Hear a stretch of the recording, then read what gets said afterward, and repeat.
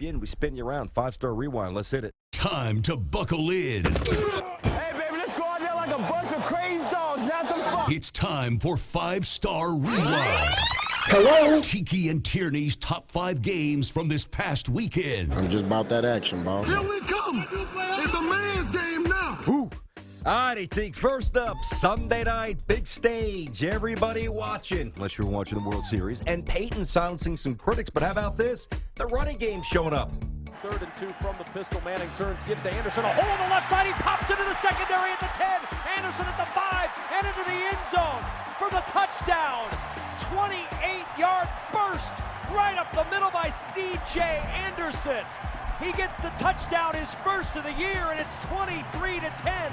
Denver, what a burst from C.J. Anderson for six. That's how it sounded. Kevin Kugler, of the call. Westwood One Sports here. And uh, listen, I mean, we're going to get to this more extensively, but boy, Aaron Rodgers below 80 yards. I mean, everything that went down in this game, Peyton played very well.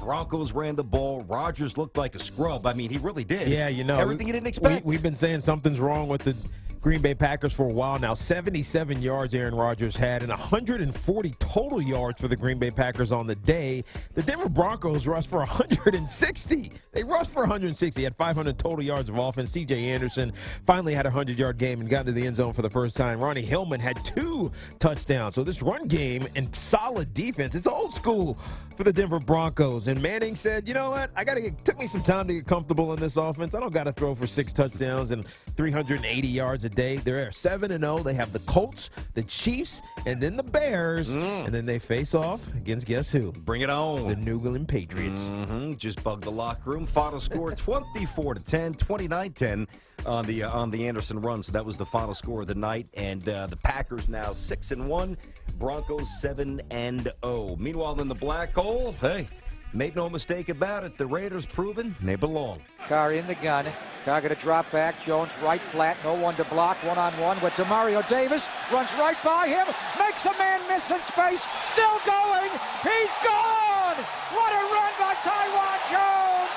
Give it to me again. Touchdown.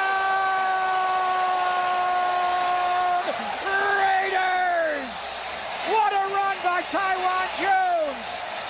First the speed to get by Demario Davis, and then he was the invisible man, and they couldn't tackle him. Wow. He came out of it untouched at the 40 and walks into the end zone. That's how it sounded. That made it 28 to 6, 34 20. The final Jets, a couple of cosmetic points, but the Raiders really, from the opening snap, they just mauled them. And how about this? A little side note on the Raiders, right? Who are now 4 and 3, clearly viable, wild card, postseason, AFC.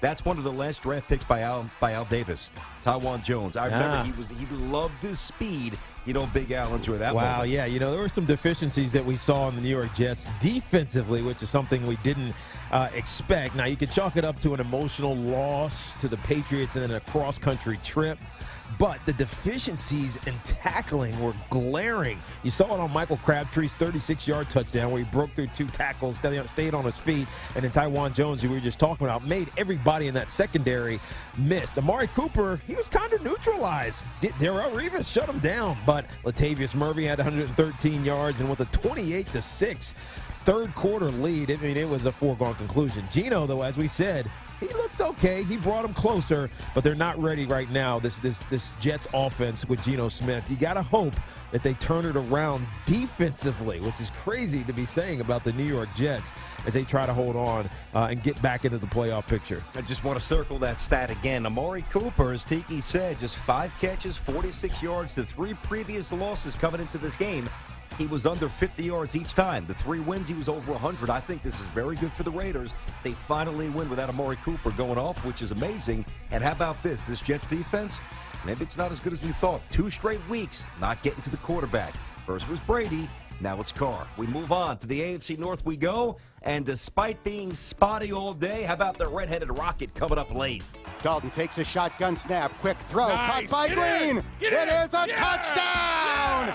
Adriel Jeremiah Green from nine yards out and the Bengals have the lead with 2.57 to go. Very ugly game. At times, at times Big Ben looked like he was 90 gimping around out there trying to extend plays. Dan Hoard, Dave Lapham, Bengals Radio Network. It doesn't matter because from Cincy's point of view, they won still unblemished. Yeah. 16, uh, pardon me, 13, 16-10 the final. They take it. Yep, they are still undefeated at 7-0. The Steelers started fast in this one, and then Dan, and then uh, Latavion, uh, what am I forgetting? His, uh, Bell got hurt. DeAngelo Williams actually filled in admirably. Rushed As for he has seven. before. He has 7.9 yards per carry, 71 yards. But the issue, as BT mentioned, was the atrocious second half. This was the Bengals in the second half, and they won. Blocked field goal, two interceptions, but when it mattered, they were able to score while Big Ben threw two interceptions down the stretch. The Cincinnati Bengals scored a touchdown and a field goal and barely, barely eked by their division rival. Bengals now perfect, as we said. 7-0 Steelers, four up and four down. There's two and two at Heinz Field. Big Ben, 28 for 45 for 262 and the touchdown. Meanwhile, if you've been sleeping on the Rams, this guy should provide a little nudge to wake you up. Gurley back to the house. Shotgun for number five, Foles. He'll take, give to Gurley. Steam, 30, 35, 40. There he goes, 50. Rolling at the 40. At the 30, being chased. They're not going to get him. Touchdown, Todd Gurley. 71 yards right up the middle. Uh, this guy is absolutely insane. Todd Gurley, 71 yards. That's how it at Steve Savard on the Rams radio network. And uh, 27-6 the final. We know the Niners are hapless, but you got to beat who's in front of you. St. Louis back in the mix. That's his fourth 100 yard day at 146, 159, 128, 133. This is old school Rams.